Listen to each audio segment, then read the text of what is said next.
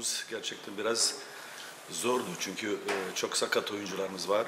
Aynı zamanda uzun zamanda e, bu takım biraz e, düşüşte özgüven kaybeden bir grup vardı. Kupa maçı olduğu için bazen tur atmak da güzel. Ama bizim için lig maçı da önemli. Onun için tur geçtiğimiz için çok mutluyuz. Futbolcular gerçekten inanılmaz bir mücadele etti, inanılmaz bir e, oyunu gösterdiler. Bazen bazen olumsuz şeyler vardı. Ama o istek, o arzu en son e, bizi sonraki tura taşıdı. Ama dediğim gibi en önemli bizim için e, lig maç. O da üç gün sonra. Göztepe gelince Göztepe gerçekten çok e, kuvvetli bir takım.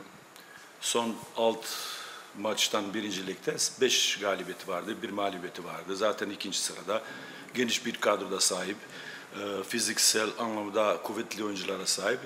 Onun için dediğim gibi belki bu bu turda en zor maçım, maçımız oldu.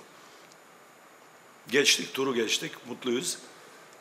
Ama dediğim gibi bizim için daha önemli lig. Bir dakika hocam.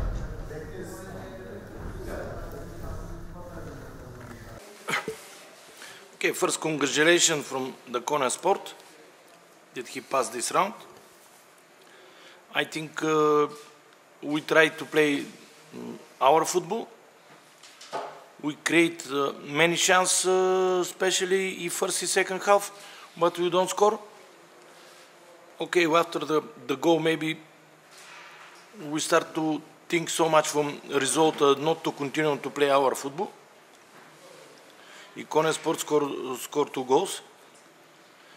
Uh, how I see the game, mm, maybe our team lips, uh, miss little bit confidence, but we have more chances than our opponent. And normally we must pass the same this uh, round. Ee, öncelikle turu geçtikleri için Konya Spor'u e, tebrik ediyorum. Biz bugün aslında kendi oyunumuzu e, oynamaya başladık. İlk yarıda ve ikinci yarıda çok fazla fırsat yakaladık.